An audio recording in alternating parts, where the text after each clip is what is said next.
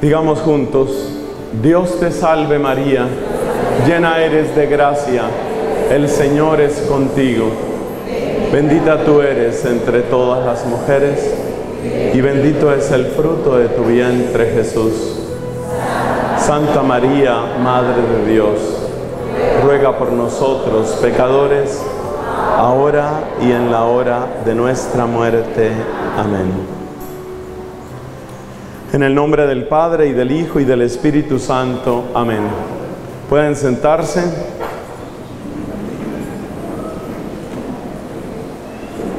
Hermanos muy queridos, esta es la segunda de nuestras enseñanzas en el seminario bíblico sobre la santidad.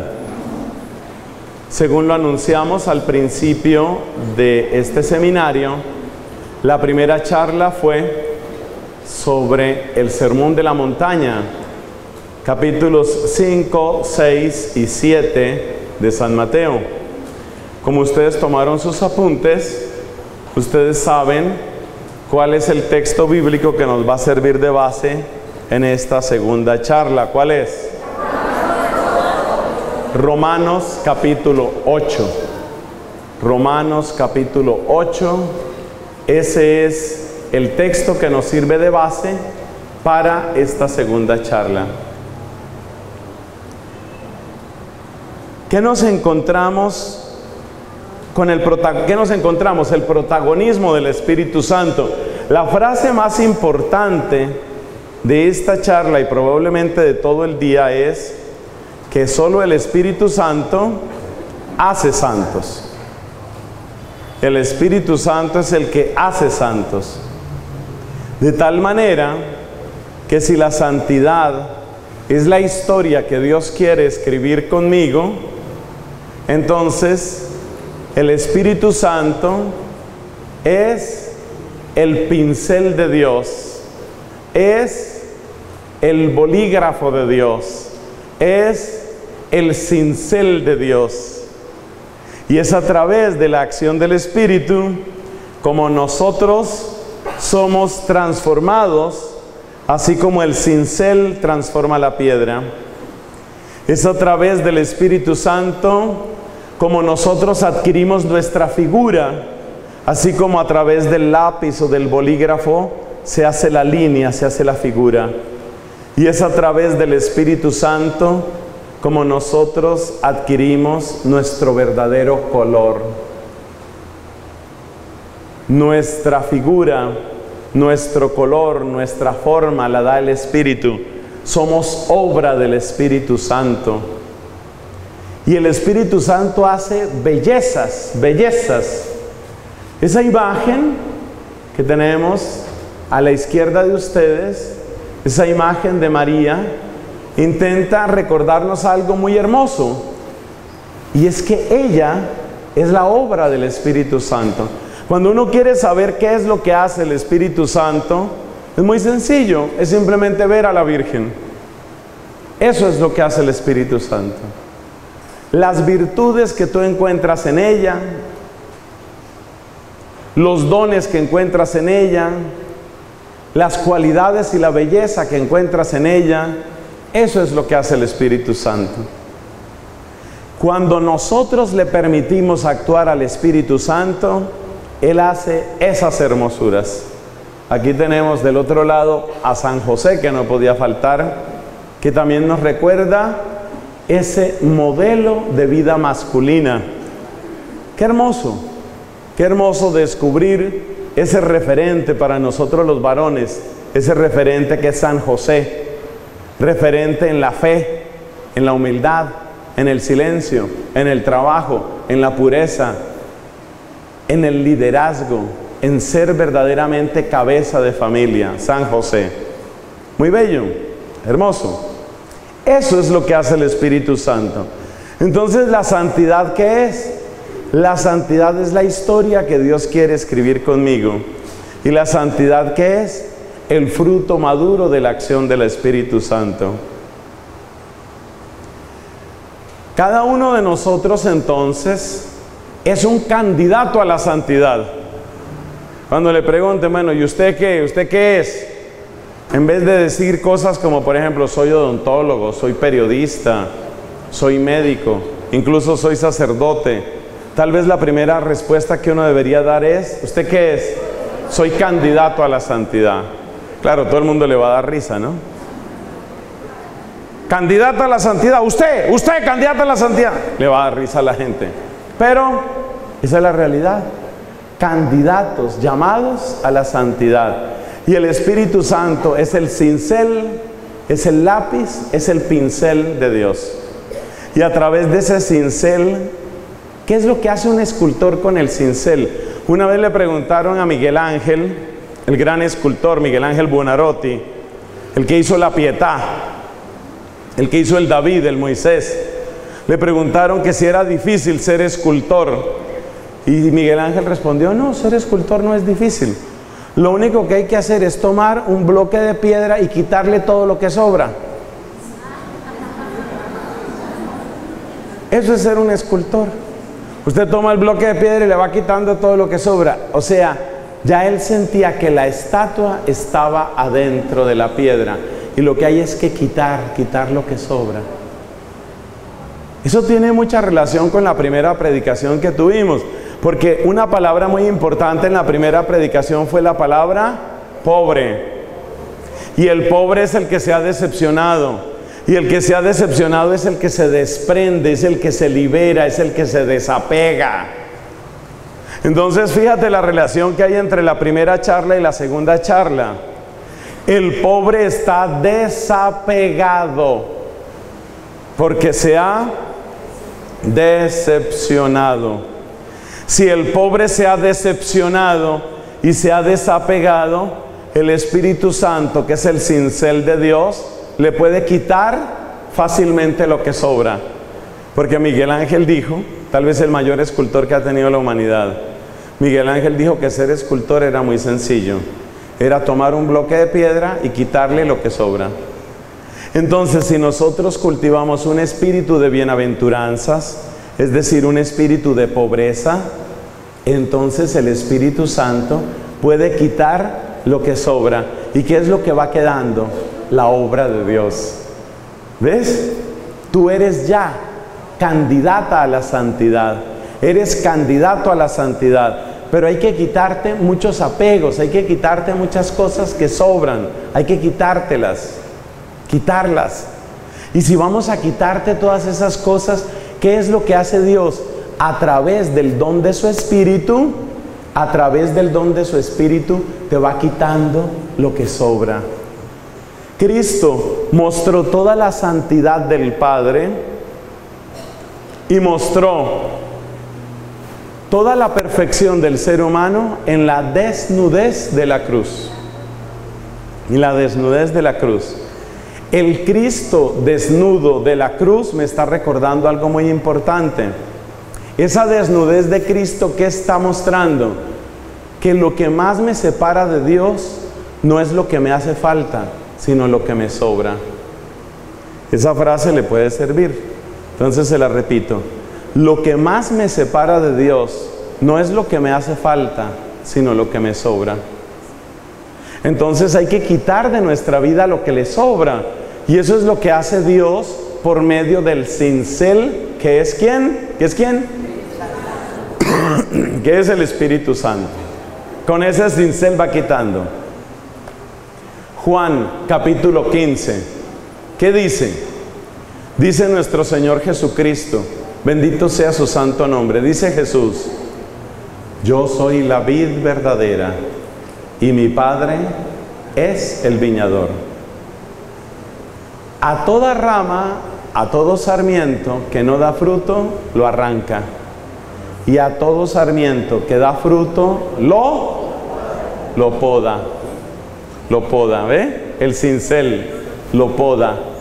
Para que el sarmiento, para que esa rama realmente dé el fruto máximo, hay que podar. Entonces el Espíritu Santo es el cincel de Dios, es la tijera de Dios. El jardinero utiliza una tijera grande para podar. Hay que podar. Porque lo que más me separa de Dios no es lo que me hace falta, sino lo que me sobra. Entonces el Espíritu Santo me tiene que quitar muchas cosas que me están sobrando. Y uno no sabe cuáles son esas cosas, porque la imagen de la santidad es nuestro amado Señor Jesucristo. Esa es la imagen de la santidad. Y Cristo en la cruz está desnudo. La desnudez de Cristo en la cruz es el gran recordatorio de que lo que me separa de Dios no es tanto lo que me hace falta, sino lo que me sobra. De ahí la importancia de la generosidad, de ahí la importancia de la entrega, de ahí la importancia de la donación, de ahí la importancia. Porque todo eso que donamos, todo eso que entregamos, todo eso que regalamos, es desprendimiento. Y todo eso es quitar muchas cosas que nos sobran. Hay en Japón un movimiento muy interesante, un movimiento arquitectónico, pero también terapéutico. Esos japoneses revuelven cosas que a uno no se le ocurren. Arquitectónico y terapéutico, que tiene su nombre en japonés, pero yo no me acuerdo el nombre en japonés. Lo que sí sé es que es un movimiento minimalista. Ellos dicen que para arreglarle la vida a una persona, lo más importante no es darle más cosas, sino más bien sacar de su vida cosas. Es decir, nosotros nos dejamos sepultar por el pasado. Y esa cantidad de cosas y cosas, como decimos en Colombia, chécheres y chécheres, toda esa cantidad de cosas y cosas que vamos acumulando, nos sepultan, nos cargan, nos recargan. Entonces la teoría de estos decoradores y arquitectos y terapeutas, porque todo eso son, la, teoría de estos japoneses es que usted a medida que se va desprendiendo de cosas, a medida que se va liberando de cosas, usted va descansando. La mayor parte de nosotros, cuando engordamos, ¿qué hacemos cuando engordamos? Decimos, bueno, este pantalón para cuando me vuelva a adelgazar. Le crece el pie. ¿Y entonces qué hacemos cuando le crece el pie? Bueno, cuando se me vuelva a achicar el pie me pongo estos zapatos. Estas gafas para cuando vuelva a tener la misma fórmula. Este cepillo para cuando me vuelva a salir pelo.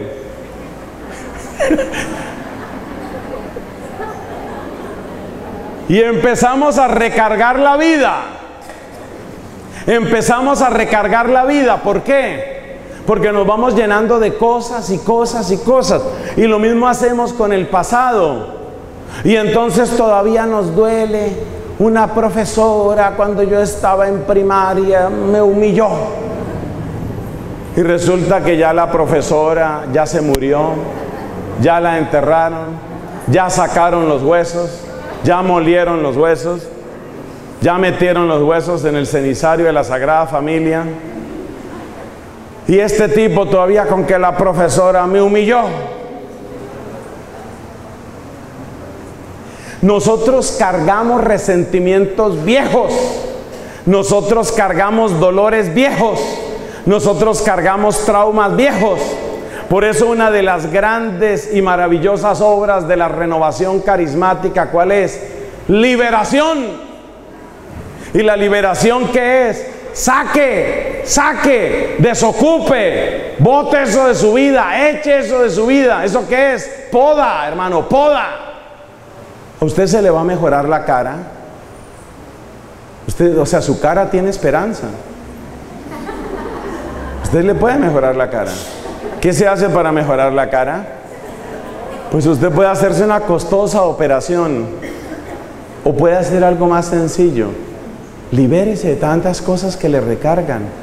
¿Y quién nos libera? El Espíritu Santo, porque es la poda de Dios, porque es el cincel de Dios. Imagine usted su vida sin el recargo, sin el recargo de dolores, de traumas, de cargas, de amarguras, de envidias que usted trae desde por allá tiempos viejos. Así como hay que sacar muchas cosas y hay que donar muchas cosas y hay que regalar muchas cosas de nuestros hogares. Hay muchas cosas que hay que sacar. Ahora que ya se acerca el adviento, y lo mismo se puede hacer en cuaresma, mire usted su guardarropa, mire usted su closet, armario, como lo llamen, mire usted su guardarropa y hágale el examen crítico a la ropa que usted tiene ahí. Esto hace cuánto no me lo pongo. Por ejemplo, este saco que tiene un lazo y que dice primera comunión. ¿Hace cuánto no me lo pongo? ¿Ve? Y usted no sale de eso. Entonces todo lo que usted carga y carga y carga y carga y carga. Entonces por eso la gente camina así. ¿Por qué? Porque están recargados. ¿Qué hace el Espíritu Santo? Poda, recorta, es el cincel de Dios. Tiene que sacar muchas cosas de tu vida. A mí me gusta mucho la oración carismática, nunca lo he ocultado. Porque fíjate que la oración que hacemos es una oración de mucha liberación. Por eso le dicen a uno que se mueva. Algunos más o menos se se mueven, otros se deslizan.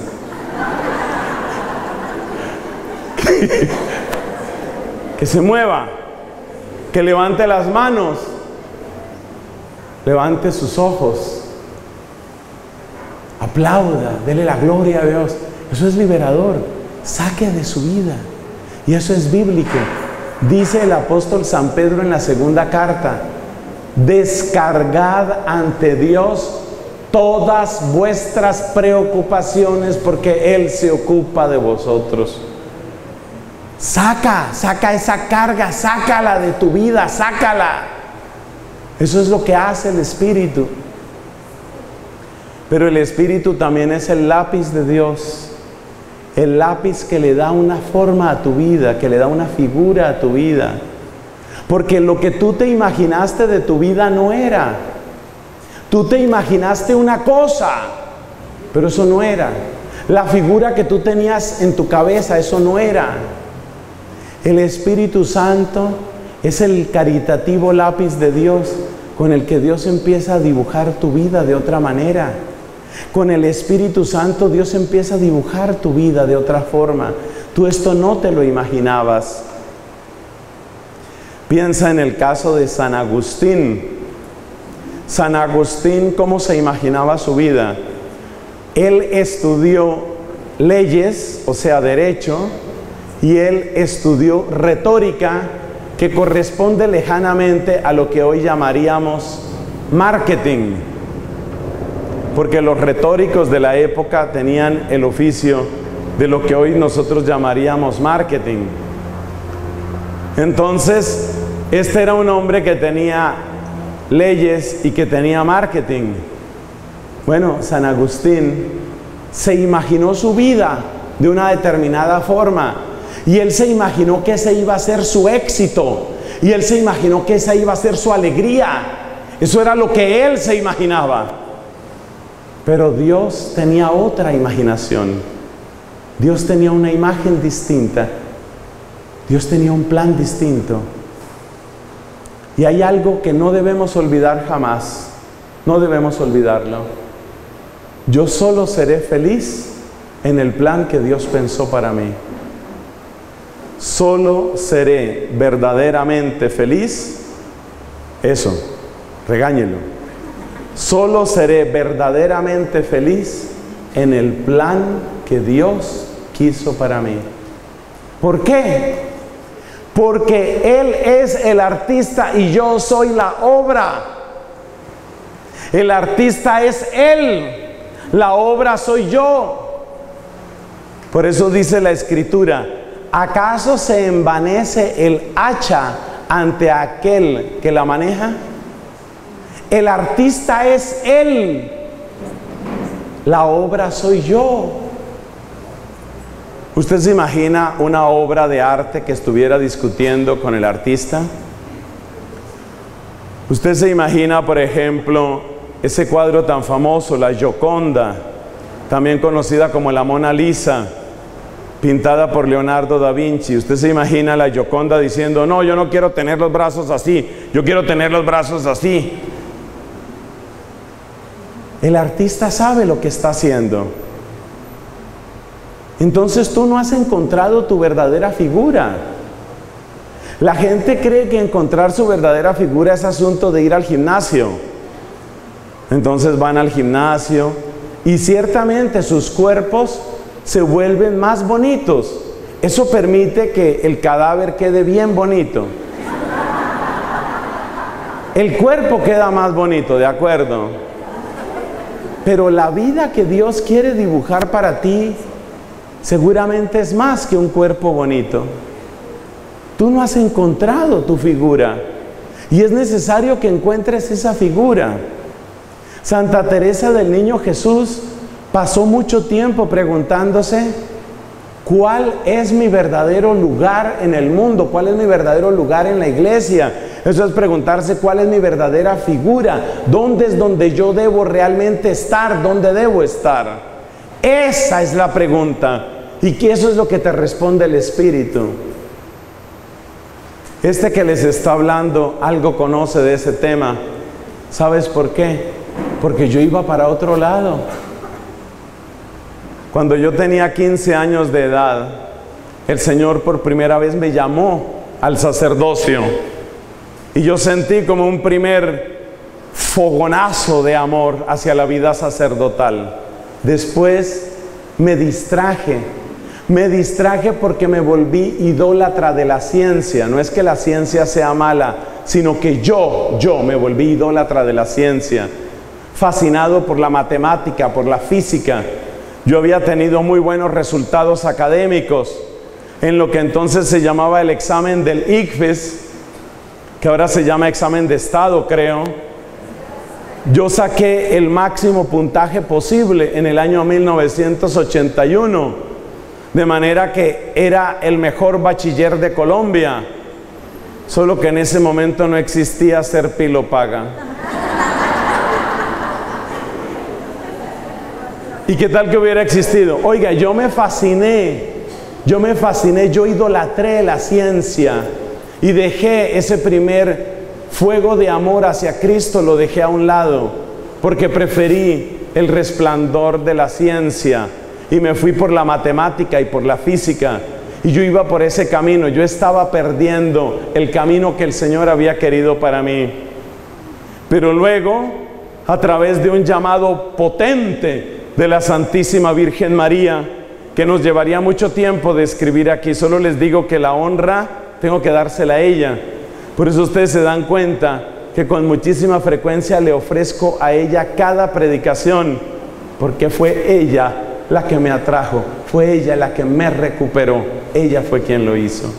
Y hay que darle gracias a Dios. Y yo pido un aplauso para la Madre de Jesús.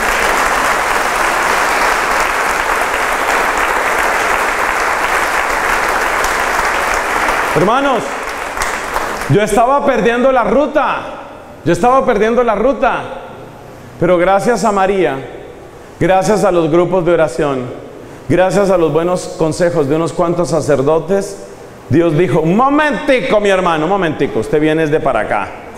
¿Eh? El Espíritu Santo es el que me le da el verdadero rostro a mi vida, es el que le da la verdadera figura a mi vida. El Espíritu Santo es el que puede llevarte al verdadero plan de Dios para ti. Y en ese plan vas a ser feliz. En ese plan vas a ser feliz. Fuera de ese plan hay engaño. Ahí no vas a ser feliz. Y el Espíritu Santo es el pincel. Son las tres imágenes que estamos utilizando. El cincel, el lápiz y el pincel cincel, lápiz y pincel. Y el pincel es el que le da el color, el color a tu vida. Hay un movimiento muy bonito en la iglesia que se llaman los cursillos de cristiandad. Y ellos hacen retiros espirituales invitando a la conversión.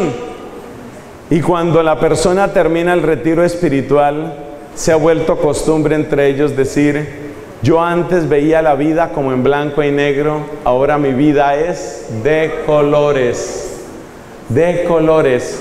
¿Por qué? Porque el Espíritu Santo le ha puesto el color a tu vida, el color a tu vida. Hay personas que lo tienen todo y no disfrutan nada. Hay personas que tienen tanto, pero tanto dinero, tantas posesiones, podrían comer lo que quisieran, pero están hastiados de todo. Podrían ir de vacaciones a donde quisieran, pero están cansados de todo. La vida les fastidia. La vida les talla. No encuentran sabor, no encuentran color en su vida. El Espíritu Santo hace que hasta las cosas más sencillas, hasta lo más sencillo de la vida, Qué hermoso encontrar esas personas que tienen la gracia del Espíritu Santo y que son capaces de disfrutar y de agradecer todo. Hay personas que lo tienen todo y no agradecen nada porque creen que se lo merecen todo. En cambio, el que tiene esta espiritualidad, que es la espiritualidad de las bienaventuranzas, que es la espiritualidad del pobre, la persona que tiene esa espiritualidad, todo lo agradece, todo, todo desde el primer aliento de vida en la mañana. La vida, gracias Señor. La luz, gracias, gracias Señor. Cantó un pájaro, gracias Señor. Mugió una vaca, gracias Señor. Pasó la cucaracha, qué estilo de cucaracha Señor.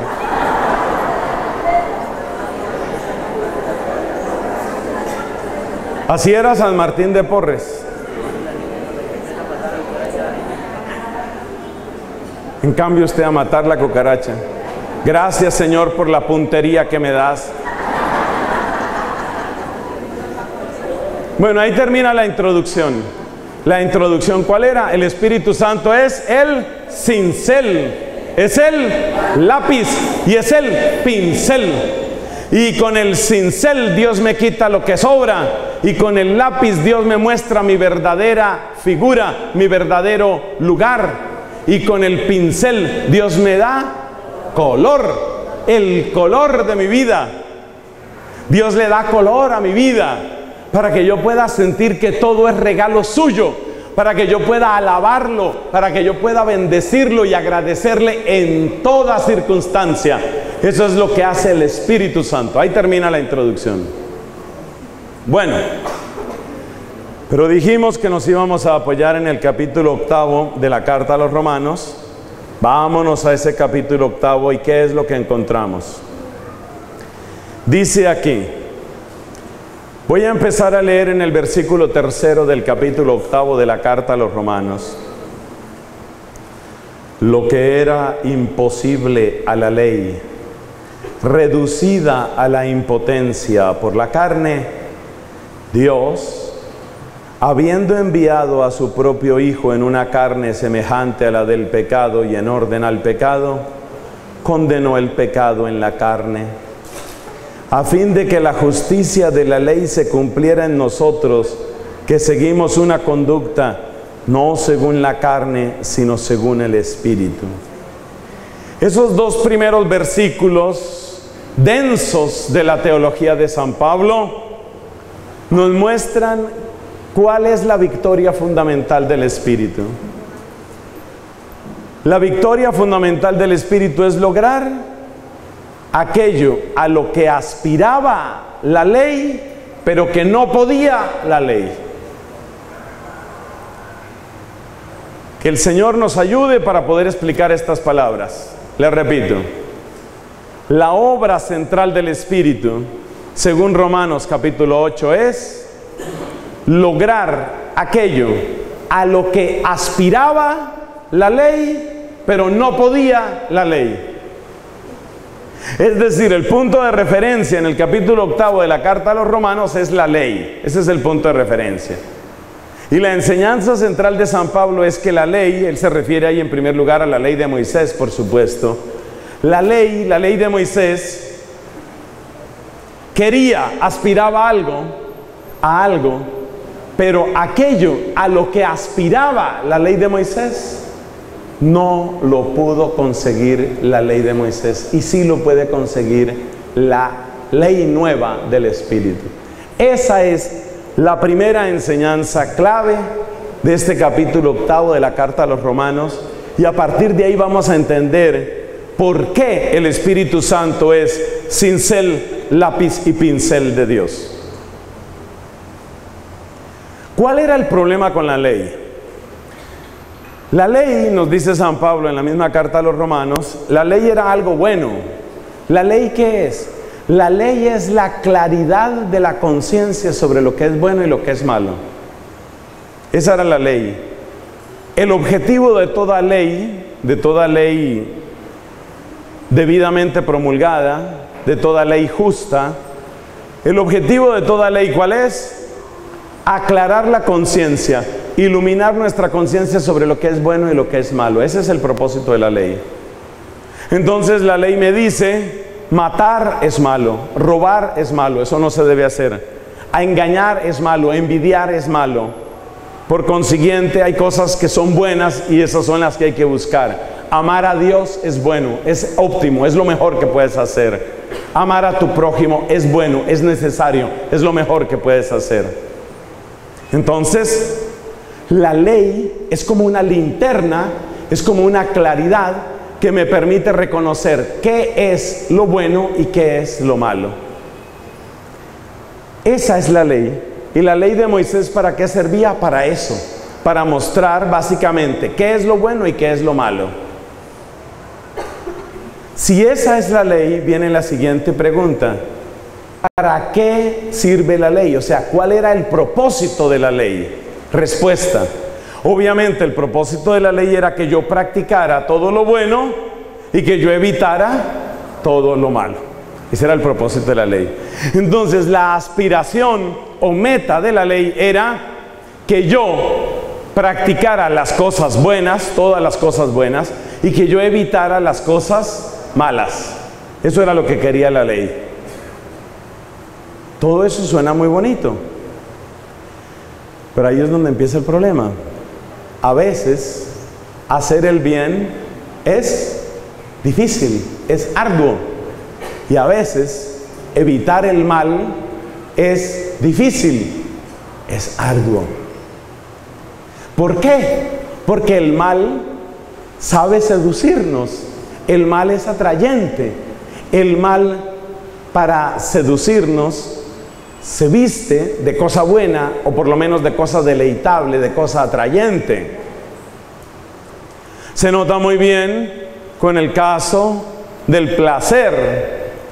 Por ejemplo, el médico me dice, de acuerdo con los últimos exámenes de sangre que le hemos hecho, usted debe disminuir drásticamente, mejor dicho, le voy a ser sincero, Padre Nelson, Usted no debe comer productos que tengan mucha grasa.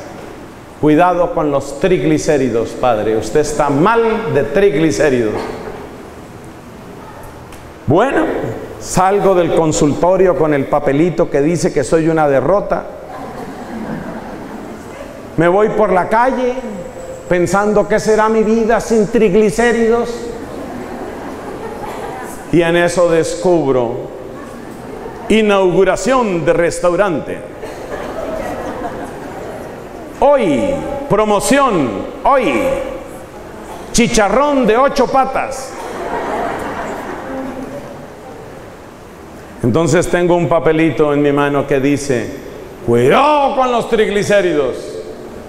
Y tengo un aviso del restaurante que dice, chicharrón de ocho patas. Yo miro el papelito. No coma. Miro el letrero. Sí coma. Que no. Que sí. No, no se le ocurra. Sí. No. Ay, sí, sí. Entonces, ¿qué pasa? La tentación que es? La tentación es la presentación de un bien parcial que contiene en sí un mal grave. Pero tiene que tener algo de bueno, si no, no sería tentación. La tentación siempre tiene algo de bueno. Entonces, ¿qué pasa? Que la ley de Moisés era como ese papel que me dio el médico. El médico me dice, donde usted se siga sentando así, su columna va a quedar destruida.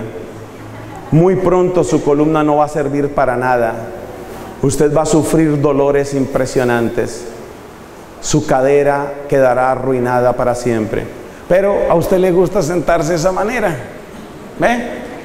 Entonces el gusto, la ventaja inmediata, la ganancia próxima, la falta de esfuerzo, la recompensa, son seducciones. La ley es como el papel que me dio el médico. Cuidado con los triglicéridos. La tentación es como el letrero del restaurante. Hoy estamos en promoción. Entonces, ¿qué viene a suceder? Nos dice San Pablo que la ley no logró su objetivo. ¿Por qué? Porque quedó reducida a impotencia por la carne. Por la carne no es la carne del chicharrón, sino la carne es la condición carnal que tenemos nosotros los seres humanos. Porque como seres humanos tenemos la debilidad propia de la carne que consiste en la necesidad, en la búsqueda, en la urgencia del placer, de la compañía, de la complicidad. Entonces San Pablo nos explica en el capítulo octavo de la carta a los romanos que precisamente por nuestra condición de naturaleza caída, por nuestra condición carnal, la tentación tiene poder en nosotros. Entonces, en la historia que les estoy describiendo, ¿qué suele suceder? Que llega el momento en el que la persona dice, muy importante lo que me dijo el médico, desde mañana lo pongo en práctica. Pero cuando llega mañana dice, la otra semana. Y después dice, no, mejor la otra semana. Y después, después ya no dice nada. Ataque cardíaco, ahí quedó. Ya no alcanzó a decir más nada. Entonces, ¿qué es lo que nos dice San Pablo? San Pablo nos dice, la ley, es decir, la claridad de nuestra conciencia sobre lo que es bueno y lo que es malo, es una cosa necesaria, es una cosa buena. Pero ¿qué pasa? Pasa que viene la tentación y pasa que nuestra condición carnal se deja llevar por lo inmediato, se deja llevar por el placer, se deja llevar por la ventaja, se deja llevar por lo que parece más fácil y sin esfuerzo. Ahí es donde está el problema. Ahí es donde está el problema. Esa es la falla que uno comete. Bueno, ¿y qué solución tiene eso? Porque es que la situación en la que nosotros vivimos es grave. Porque la ley ya nos mostró lo que es malo. Pero resulta que cuando uno ya sabe lo que es malo, todavía no tiene las fuerzas para evitarlo. Y entonces termina uno pecando a sabiendas. O sea, uno ya sabe que eso no es bueno. Ya el médico le dijo, los triglicéridos no son buenos. Ya usted tiene claridad sobre lo que no es bueno y sin embargo lo sigue haciendo. Entonces su condición llega a ser sumamente desventurada porque la ley que tenía una aspiración de elevar su vida, en últimas se terminó convirtiendo en un dedo acusador que le, le está mostrando todo lo que usted no es, todo lo que usted no ha hecho, todo lo que usted está haciendo mal. Entonces la ley, que en sí misma era un llamado a la salvación y a la santidad, se convierte más bien en causa de condenación porque ya resultamos pecando a sabiendas. Ya sé que esto no lo debería hacer, pero lo sigo haciendo. Ese es el poder, por ejemplo, de los vicios. Piense en el caso de una persona que fuma. La persona sabe que no debería fumar, sabe que ese cigarrillo le está haciendo daño. Piense en la persona que se vuelve adicta, por ejemplo, a la pornografía y siente vergüenza de lo que está viendo. Quizás es un hombre casado, quizás siente vergüenza porque es un hombre que tiene hijas y está viendo por allá esas mujeres y entonces dice, Bueno, ¿qué tal que mis hijas estuvieran en esto? Y siente repugnancia y siente que es asqueroso, pero se siente amarrado a ese vicio de la pornografía, se siente amarrado al vicio de la lujuria, se siente amarrado a la droga. Esa es, esa es la condición y la persona sabe, la persona sabe que está haciendo mal y sin embargo no logra salir de lo que está haciendo mal. Entonces la ley que había sido dada para que nuestra vida mejorara y para que nuestra vida tendiera hacia la santidad, al final la ley se convirtió en un dedo acusador que simplemente me dice y me repite, no pudiste, no lograste, te vas a condenar. Esa es la ley. Bueno, ¿y qué solución tiene eso? Es evidente, hermanos, que las solas fuerzas humanas no alcanzan. No es un asunto de falta de explicaciones, no es un asunto de falta de claridad. El drogadicto ya sabe que está destruyendo su vida. El adúltero sabe que está destruyendo su vida. El que fuma sabe que está destruyendo su salud. El que roba en el gobierno sabe que está haciendo algo ilícito. La enfermera que colabora en un aborto sabe, sabe lo que está haciendo. Sabe que ese es un crimen abominable, lo sabe. El problema no es de saber. ¿Cuál es el problema? El problema es de querer. ¿Cómo pudiéramos hacer para que llegara a mi vida un nuevo querer? Escriba la siguiente frase. Solo el Espíritu Santo me da un nuevo querer, una nueva capacidad de querer. Porque si digo un nuevo querer, alguien pensará que es una nueva persona que llegó a mi vida. No. Solo el Espíritu Santo me da una nueva capacidad de querer.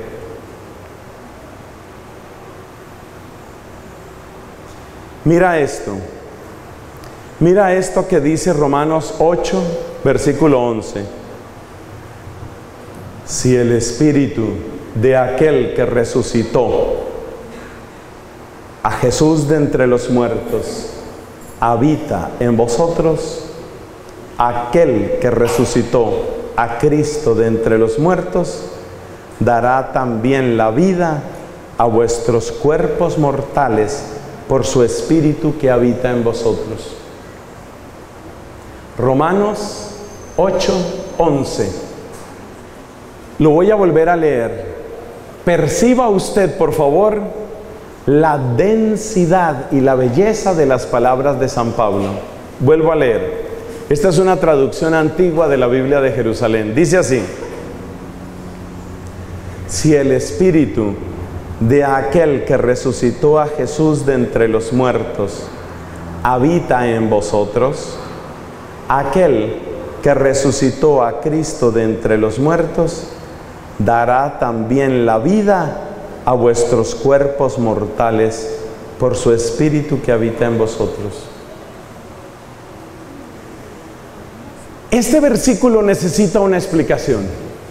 Aquí se necesita una explicación. Mira, lo que me llama la atención es que dice que el Espíritu Santo habitando en nosotros, dará vida a nuestros cuerpos mortales. Observe eso. Y yo creo que si a uno lo ven, pues uno está vivo.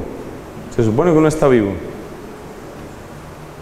Es verdad que algunos están agotados por el sueño, pero vivos. Todavía están vivos. Vivos.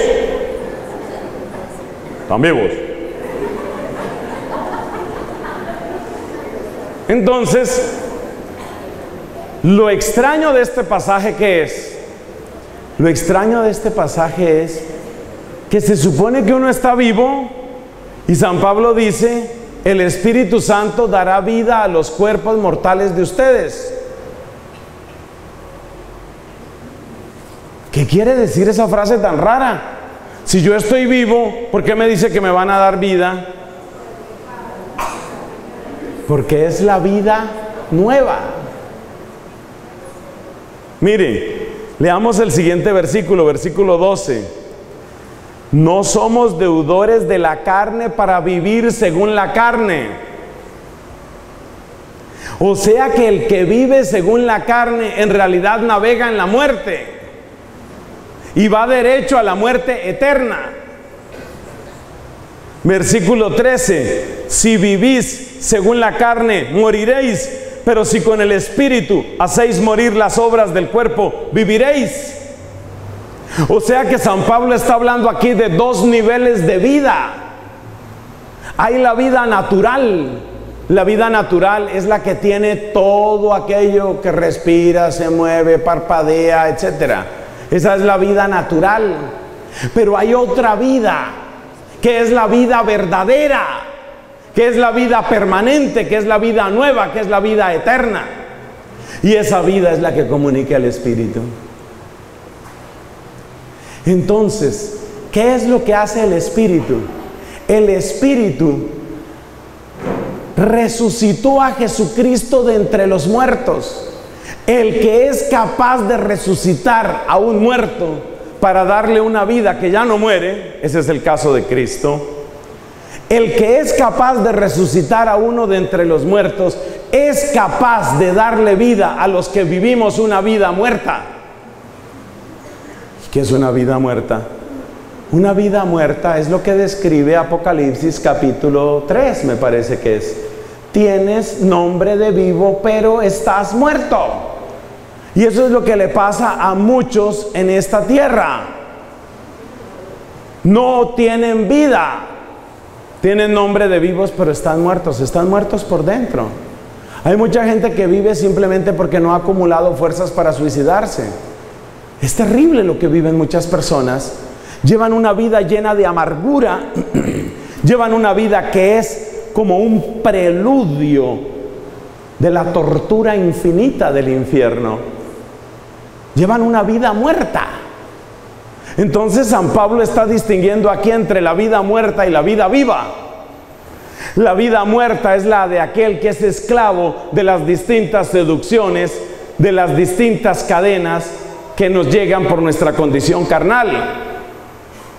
Piense usted en el caso de una persona que está sometida, por ejemplo, al vicio terrible de la droga. Algunos de ustedes, muchos de nosotros hemos visto esas personas.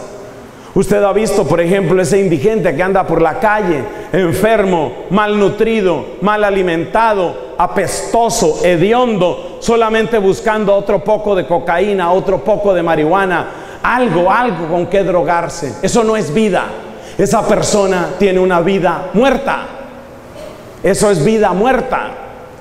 Porque esa persona es esclava de las seducciones propias de su condición carnal. ¿Qué es lo que hace el Espíritu? El Espíritu nos libera de las cadenas propias de la seducción por nuestra condición carnal. El Espíritu nos libera. Y ese Espíritu que revienta esas cadenas, ese Espíritu que nos saca de esa prisión, no solamente nos libera como desde fuera, la palabra que utiliza San Pablo es, viene a habitar en nosotros. Cuando el Espíritu Santo viene a habitar en nosotros, el Espíritu Santo trae su vida a nosotros. Le repito, cuando el Espíritu Santo llega a ti, el Espíritu llega vivo y llega vivificante. Y el Espíritu Santo, vivo y vivificante, trae su vida a ti, para que no tengas una vida muerta, sino para que tengas una vida viva. La vida muerta, ¿qué es?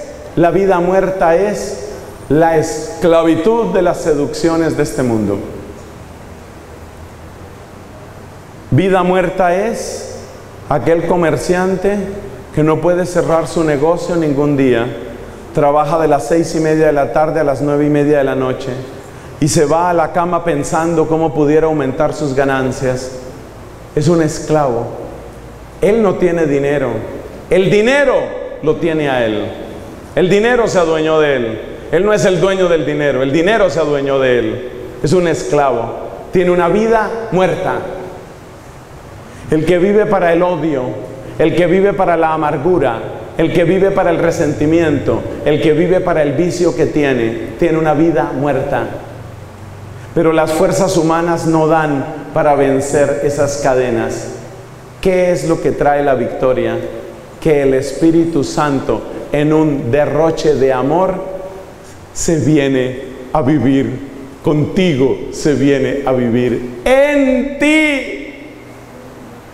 Y cuando el Espíritu Santo viene a vivir en ti, entonces tú empiezas a tener no solamente la vida natural, la vida natural de qué depende?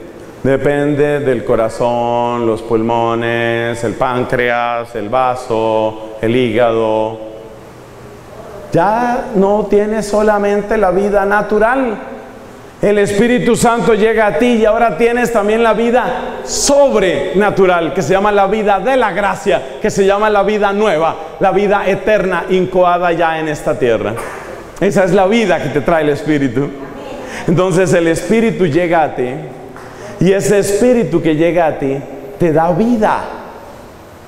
¿Y eso qué quiere decir? Que cuando el Espíritu llega a ti, empiezas poco a poco, cada vez más, cada vez más, a amar a la manera del Espíritu Santo, conocer a la manera del Espíritu Santo, perdonar con la fuerza del Espíritu Santo, predicar con el poder del Espíritu Santo, dar testimonio como solamente lo puede dar el Espíritu Santo.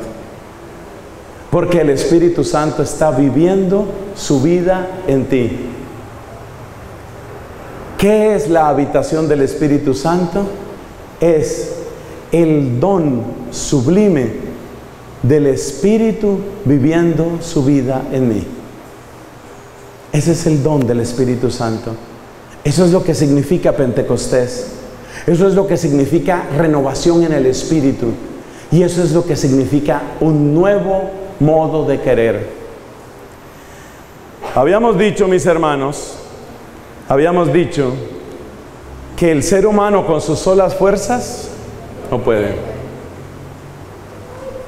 Pero cuando llega el Espíritu Santo a ti, el Espíritu Santo vive su vida en ti.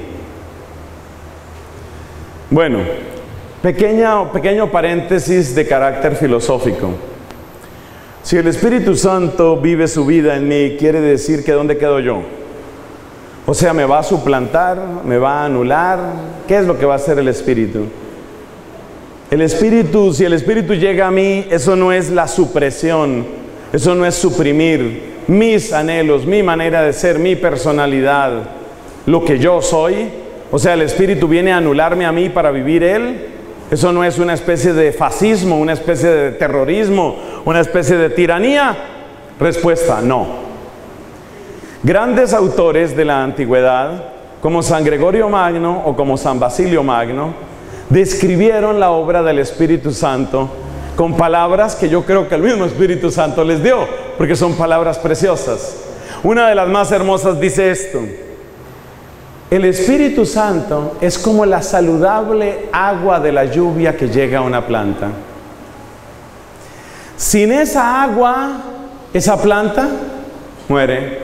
Esa planta se marchita. Esa planta nunca llegará a ser lo que hubiera podido ser. Llega el Espíritu Santo, lluvia de Dios, agua viva. Llega el Espíritu Santo a esa planta ¿El Espíritu Santo suplanta la planta? No, la hace ser. Entonces el Espíritu Santo, cuanto más vive en mí, más me hace ser yo mismo. Ese es el paréntesis filosófico. Si le interesa esa frase, no la deje perder. El Espíritu Santo, cuanto más vive en mí, más me hace ser yo mismo. Por eso, dice este Santo Padre de la Iglesia, que me parece mucho que es San Basilio, dice este Santo Padre de la Iglesia, que la misma agua de la lluvia, si le llega a un árbol de manzanas, no lo hace producir peras, sino manzanas. Y si ese mismo, esa misma lluvia le llega a un rosal, no hace que el rosal produzca guayabas, sino que produzca las más hermosas rosas. O sea que el Espíritu Santo, llegando a distintas plantas, a todas las embellece, a todas las engrandece y a cada una la hace ser ella misma. O sea que el Espíritu Santo, cuanto más vive en mí, más soy yo mismo. Mientras que la ausencia del Espíritu me distancia de mí mismo. Un ateo, rabioso enemigo de Dios, que hizo gran daño a la humanidad, llamado Jean-Paul Sartre, decía que Dios era, que la mirada de Dios era el gran estorbo para el hombre. Porque él se imaginaba que toda mirada, que toda intromisión de Dios era una especie de disminución del hombre. En el mismo tono habló otro ateo, rabioso enemigo del cristianismo llamado Federico Nietzsche también para Nietzsche la idea es que Dios tiene que desaparecer para que el hombre surja, porque si llega Dios el hombre disminuye. Estos filósofos no han entendido nada. Mucho mejor lo explica San Basilio cuando dice, la lluvia llegando a cada planta la hace ser. A ver, ¿un vaso de agua es igual a una rosa? No. Pero si tú le quitas el agua al rosal, no da rosas. O sea que el agua es distinta de la rosa, pero el agua hace que la rosa sea rosa. Oiga, qué pedagogía, ¿no? Lo de esos predicadores de la antigüedad. Yo digo, cuando yo crezca quiero ser como ellos. Qué pedagogía tan bonita, mire, le repito. El agua no es la rosa, pero si a la rosa le quitas el agua, no es rosa. Y si a la rosa le das algo que no es rosa, sino agua, la rosa llega a ser rosa. No me mire con cara que se confundió. Se la repito despacio. Porque esa hay que aprendérsela bien, eso es muy bonito. Eso es, o es de San Basilio o es de San Gregorio, mire, se la repito. El agua no es la rosa, pero si a la rosa le quitas el agua, no tienes rosa. Y si a la rosa le das algo que no es rosa, sino que es agua, por fin tienes la rosa. No, ustedes se me están confundiendo. Yo ya vi cuál es el problema. El problema es el hambre. Yo hablando aquí del agua, la rosa, no sé qué, y la gente pensando en la salchicha, el pollo, la carne. Entonces le doy este ejemplo. El pollo, no me A ver, yo sigo. yo sigo con el agua y la rosa. Explique, entienda bien el agua y la rosa, porque si no, no nos vamos de aquí. No va a haber almuerzo mientras no se entienda el agua y la rosa. Póngale cuidado. La prueba que ustedes me van a dar de que están entendiendo es que son capaces de responder. Entonces, el agua es distinta de la hasta ahí vamos bien, hasta ahí hay almuerzo. El agua es distinta de la rosa. Pero si a la rosa le quitas el agua, ya no hay rosa. Se acaba la rosa. Si a la rosa, ahora oye esto, si a la rosa le das lo que no es rosa, porque es agua, entonces ahí sí tienes la Respondieron como 18, pero el grupo se salva. Claro, claro, eso es. Eso es. Entonces el Espíritu Santo es de distinta naturaleza que nosotros, porque el Espíritu Santo es Dios como el Padre y el Hijo. El Espíritu Santo no es de mi naturaleza. Mi naturaleza es humana. Soy un ser humano. Quizás flaco, pero soy un ser humano o gordo, bueno, lo que sea. Eso no importa.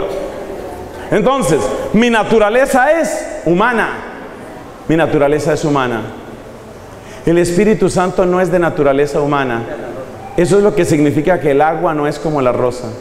Pero si al ser humano, que en este caso es la rosa, le quito el agua, o sea, le quito el espíritu, ¿qué pasa con el ser humano? Se marchita y muere. ¿Por qué? Porque la sola ley no da. Solamente saber lo que es bueno y lo que es malo no es suficiente, no es suficiente. Entonces no basta la naturaleza humana, no basta la rosa. Si a la rosa le quitas el agua, se muere la rosa. Ahora viene la otra parte. Si a la rosa le das lo que no es rosa, o sea, el agua, entonces la rosa llega a ser plenamente rosa. Eso es. Si al ser humano le das lo que no es humano, sino que es divino, entonces por fin llega a ser plenamente humano. Esa es la belleza. Ese es el misterio es lo más fácil que lo puedo explicar. Lo vamos a repetir ahorita la última vez.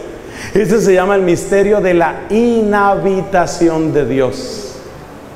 Por supuesto, Dios le reveló a Santa Catalina de Siena que cuando llega el Espíritu nunca llega solo, llega con el Padre y con el Hijo. Por eso se llama inhabitación de la Trinidad. Pero en principio eso empieza como efusión del Espíritu Santo. Entonces se lo repito por última vez. La comparación es con la rosa y con el agua. La rosa es la naturaleza humana, el agua es la naturaleza divina. Entonces, si a la rosa, que es el ser humano, le quitas el agua, es decir, si no conoce verdaderamente el don del Espíritu, se marchita porque no es capaz con sus solas fuerzas de dar el verdadero fruto, porque la sola ley no es suficiente. ¿Por qué? Porque llega la seducción de la carne, es decir, llega el chicharrón. Claro, cuando le digo chicharrón ahí se entiende. Hasta ahí vamos bien. Ahora viene la segunda parte. Segunda parte. ¿La segunda parte cuál es? La segunda parte es, si a la rosa, es decir, al ser humano, a la naturaleza humana, le doy lo que no es rosa, o sea, el Espíritu Santo, que no es ser humano, sino Dios, si a la rosa le doy lo que no es rosa porque es agua, entonces la rosa, o sea, la naturaleza humana, si llega a ser plenamente rosa, llega a alcanzar su plenitud.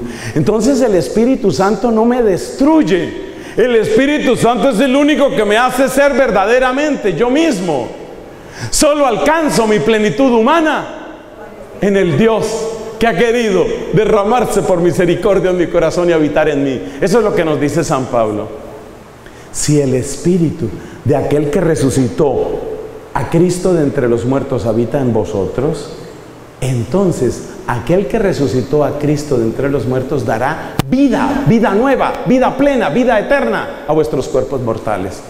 Es decir, el Espíritu Santo te va a dar el nuevo querer, te va a dar la nueva capacidad de querer, de querer.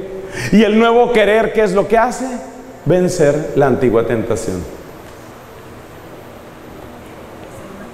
¿Hasta dónde llegaba la ley? La ley llegaba solamente hasta este punto. Dese cuenta de lo que no le conviene y aguántese. Aguántese, aguántese, aguántese duro, aguante duro. Hasta ahí llegaba el espíritu. Esto, la ley. La ley llegaba hasta ahí. Aguántese, reprímase. Hasta ahí llegaba la ley. Porque la ley no era capaz de cambiar el querer. En cambio, el Espíritu Santo, llegando a nosotros y habitando en nosotros, vive su misterio en nosotros. Y cuando el Espíritu Santo llega a nosotros y vive su misterio en nosotros, somos criaturas nuevas. Entonces ya podemos querer de otra manera. Y por eso lo que buscaba la ley, pero no podía conseguir la ley, lo consigue el Espíritu habitando en nosotros. ¿Qué era lo que quería la ley? Elevar nuestra vida hasta la santidad de Dios. Eso no lo pudo conseguir la ley. El Espíritu Santo sí lo consigue. Por eso les leo el último versículo de este capítulo octavo. Qué cosa tan bella, qué bello es Dios. Mire lo que dice aquí. Mire esto tan bello. Eh, Romanos 8:14. Todos los que son guiados por el Espíritu de Dios son hijos de Dios. No recibisteis espíritu de esclavos para recaer en el temor. Recibisteis espíritu de hijos adoptivos que nos hace exclamar, Abba, Padre. Hemos recibido una nueva naturaleza. Por la efusión del Espíritu habita en nosotros aquel que es Dios con el Padre y con el Hijo. Y es Él el que nos hace sentirnos hijos de Dios, vivir como hijos de Dios, amar de un modo nuevo, pensar de un modo nuevo, obrar de un modo nuevo. Esa es la maravilla del Espíritu. Entonces el Espíritu obra con poder. Yo por eso no tengo ninguna dificultad en creer en los milagros, ninguna. Yo creo en el carisma de sanación, yo creo. Para mí es real que Dios sana que Dios puede sanar a una persona con una oración. Es real completamente. Dios sabrá en qué casos lo concede y en qué casos no y cómo y por qué. Ya ese es otro tema. Pero que Dios lo puede, lo puede. Yo no tengo ningún problema en creer en eso. ¿Por qué? Porque ¿qué es el carisma de sanación? Es una obra del Espíritu Santo en aquel que le deja precisamente obrar. Si tú le dejas obrar al Espíritu Santo, se cumple lo que dice una canción. Hay una canción carismática que dice, cuando el pueblo alaba a Dios suceden cosas, suceden cosas maravillosas. Claro, es que a través de la alabanza, usted abre su corazón para decirle, ven, ven a vivir, ven a vivir en mí, Espíritu Santo ven a vivir en mí, ven a hacer tu obra en mí, ven a habitar en mí. Solo el Espíritu Santo hace santos. ¿No fue eso lo que dijimos antes? Solo el Espíritu Santo hace santos, nadie más. Entonces usted tiene que creer. Y por eso es tan importante el amor, la alabanza, la adoración, la invocación al Espíritu. Porque cuando usted abre su corazón al Espíritu Santo, el Espíritu Santo viene y lo que usted no podía, porque la rosa sola no podía, ahora sí lo va a poder, porque el Espíritu Santo viene a usted con, con poder, con poder. Y el Espíritu Santo hace esas maravillas. Terminemos, hermanos, esta segunda predicación con un resumen y con un enlace que conecte con la anterior predicación. ¿El resumen cuál es? Hicimos una introducción la introducción es que el Espíritu Santo es tres cosas. Las tres cosas son, es cincel, es lápiz y es pincel. Cincel que te quita tanta cosa que te sobra, lápiz que revela la figura y plan de Dios para ti, pincel que le da color a tu existencia, porque también se trata de que seas feliz. También se trata de eso, de que seas feliz. Acuérdese que la cara suya tiene esperanza. No se decepcione de su cara. No entre usted a decir, no, ya yo con esta cara ya, no, no, tenga confianza. De algún modo, eso se puede un poquito, se puede mejorar un poquito su carita. Bueno. Entonces, ¿cómo era cincel? Bueno, después de eso, ya esa era la introducción. Después de eso hablamos de qué era la ley. La ley es la clarificación de la conciencia sobre lo que es bueno y lo que es malo. Pero la ley no me da el querer. Ese es el problema de la ley. La ley no me da querer con la suficiente fuerza lo bueno. Entonces las solas fuerzas humanas no alcanzan. Y luego, basándonos en los textos de San Pablo, hemos demostrado que el Espíritu Santo es fuerza y vida de Dios. Es Dios mismo derramándose en nuestros corazones. ¿Para qué? Para habitar en nosotros y en nosotros vivir su misterio. Entonces el Espíritu Santo hace su obra en nosotros y pues así llegamos a querer. Así llegamos a querer en la línea de Dios. Porque uno quería, pero en la línea de la carne. No, hay que querer en la línea de Dios. Esa es la idea, la idea central. Y eso es lo que hace el Espíritu. Y luego resolvimos el tema ese de si el Espíritu Santo me anula, me suplanta. No. Utilizamos el ejemplo de aquel padre de la iglesia, que es el ejemplo de la lluvia y la planta, el ejemplo del agua y la rosa. El agua no es la rosa, pero la rosa sin agua muere. En cambio, si a la rosa le doy lo que no es rosa, sino que es agua, la rosa alcanza su plenitud. Y eso somos nosotros. Nosotros alcanzaremos nuestra plenitud. Bueno, ese es el resumen. Y ahora el enlace. ¿Cómo enlaza esto con la primera predicación? La primera predicación era la de los pobres, la de las bienaventuranzas. ¿Qué es el tema de las bienaventuranzas? ¿Qué es el tema de los pobres? Es el tema de la decepción. Dijimos que el primer paso en la santidad era la qué? La decepción. Y ahora aprendimos cuál es el segundo paso. El segundo paso se llama fascinación. Decepcionados del mundo, pero fascinados de Dios. Y fascinados de Dios, le abrimos nuestro corazón al Espíritu para que venga a vivir en nosotros, para que haga su obra en nosotros, para que nos transforme, para que viva su misterio en nosotros. Entonces llevamos dos palabras claves. Decepcionados, pero también fascinados. Decepcionados del mundo, fascinados de Dios. El Espíritu Santo nos da la fascinación por las cosas de Dios. Fascinación. Estoy seguro que hace unos años, si alguien le hubiera dicho a usted que usted iba a oír sermones de hora y cuarto, dos sermones de hora y cuarto en un día, usted hubiera dicho, ¿qué le pasa, hermano? ¿Qué le pasa? Tengo mucha cosa importante que hacer. ¿Como qué? Dormir. Luego ver el programa de televisión. Luego tengo un partido de futsal. Entonces, ¿qué ha sucedido? Que el Espíritu Santo le va dando a uno el gusto por las cosas de Dios. Entonces, somos decepcionados, pero también somos... Eso es. Nos falta todavía la tercera predicación. Y todavía nos falta otra palabra. No se pierdan esa palabra. No se pierdan la tercera predicación.